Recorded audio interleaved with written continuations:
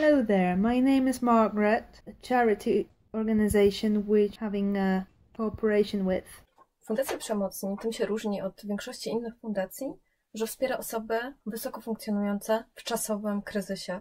Dlaczego? Dlatego, że jest to najbardziej sensowna inwestycja społeczna, jaka może być. Jeśli pomagasz osobie, osobom, które zazwyczaj funkcjonują w naszym społeczeństwie dobrze lub bardzo dobrze, są dobrymi osobami, nieroszczeniowymi, osobami, które jeszcze w dodatku pomagają innym lub dobrze wychowują dzieci, to jest to inwestycja, która opłaca się naszemu społeczeństwu najbardziej. Dlatego, że pomagamy tylko przez chwilę i ktoś stoi na własnych nogach. Czyni nasze społeczeństwo lepiej funkcjonującym. people who are coming to Fundacja Przemocnie are learning how to get out from victim's mode and stop being a victim, emotional, mental victim, which is completely different thing than being a victim in real life in a certain situation when somebody is attacking you and you're really a victim. So it's like a network of help. We are helping each other and we are supporting each other. That's why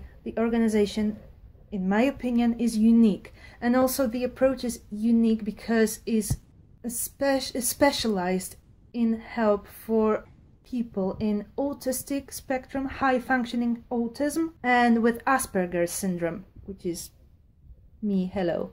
And also Anya, she's got Asperger's syndrome and she gained unusual, enormous amount of knowledge.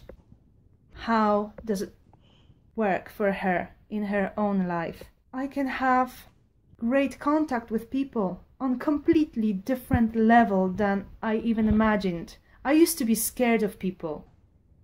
Not anymore.